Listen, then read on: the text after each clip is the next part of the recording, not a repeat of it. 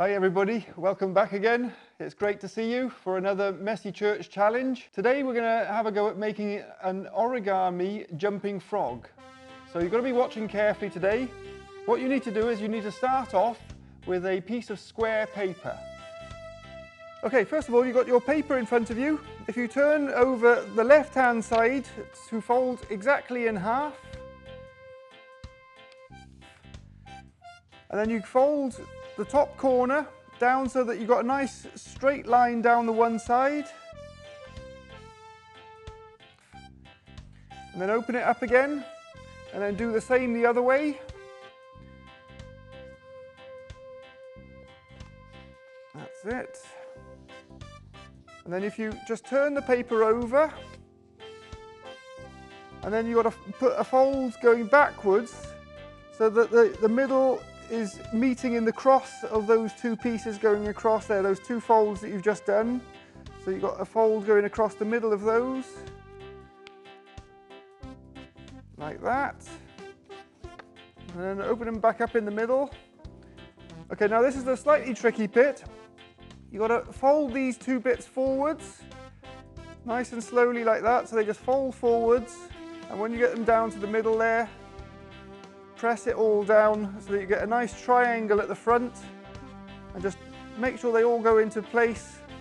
Okay, now we're making the front feet for the frog, so they just fold forward like this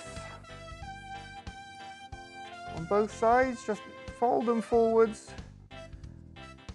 So you've got your front legs. Right, now what you need to do is, for this rectangle at the back, you need to fold that forwards so that it just touches behind the body.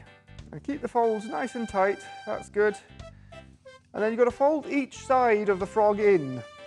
So, so that it meets the center line. Just fold it in there, tuck it in behind where the legs are.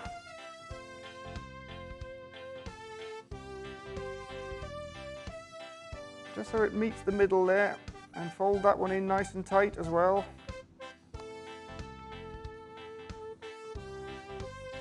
And then the same on the other side. Okay, now you need to fold this back up so that it just touches the bottom of where the front legs are.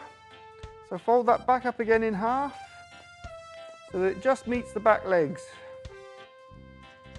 Like that. And then make another triangle out of this. So again, fold both sides down to make a nice little triangle. And then that last bit, you just need to open them up again. That last bit there, and you've got to fold these back legs outwards. So this is this bit's a little bit awkward. So where, where the point of the paper is, that's the edge of his leg. So you need to pull that one out so that that's flat. And then just push him down on both sides so that those pull out on both sides. Pull them out and then fold those down nice and tight like that.